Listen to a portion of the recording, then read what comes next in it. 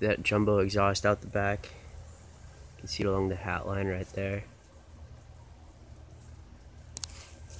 It's crossed out behind the house.